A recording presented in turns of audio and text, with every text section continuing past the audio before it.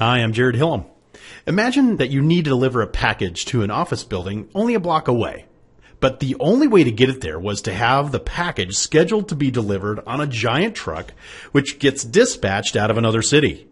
Or conversely, imagine needing to deliver thousands of boxes to a warehouse, but the only thing you have is a bicycle. These strange analogies have a very similar parallel in the data world. When we're trying to move large quantities of data, often the tool of choice is an ETL tool, which stands for extract, transform, and load. However, when we're communicating between individual application processes, we often use an enterprise service bus, or ESB. So in this video, we're going to briefly touch on the unique challenges of moving bulk data as well as real-time transaction data. And we'll also discuss how vendors are beginning to blur the lines between these two requirements into unified integration platforms. And we'll start with ETL. Moving bulk data requires a highly tuned platform for that very task. Additionally, it requires the ability to make transformations to the data at large scale. So for example, you may want to convert all of the state names to their abbreviated form or have a highly parameterized transformation that puts data into separate buckets. And you may want this to occur to millions of records on a scheduled basis. This would be akin to using the truck in our previous example. It's specifically designed for delivering in large quantities. Application integration, on the other hand, requires a real-time service to be constantly monitoring transactions.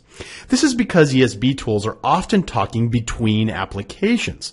For example, imagine you have a closed opportunity in your CRM and you want that closed opportunity to trigger an invoicing process for your accounts receivable system.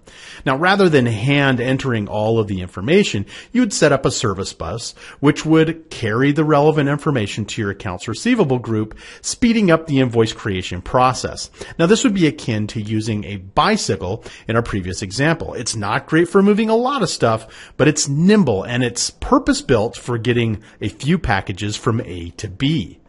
In the past, the lines between these two different middleware functions were fairly stark.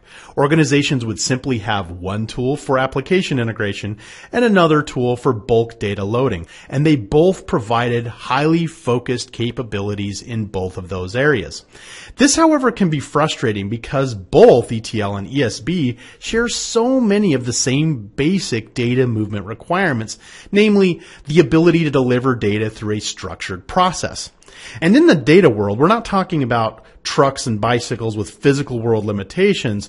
We're talking about data and software. So in the back of everybody's mind, we've always known that these two functions could reside in the same place.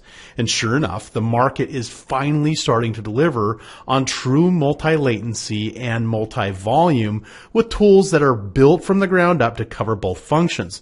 Now these new capabilities are not something that organizations should just rush out to replace their current environments with. However, when defining a new project, consideration for latency flexibility and transformation flexibility in the same platform should be a priority moving into the future.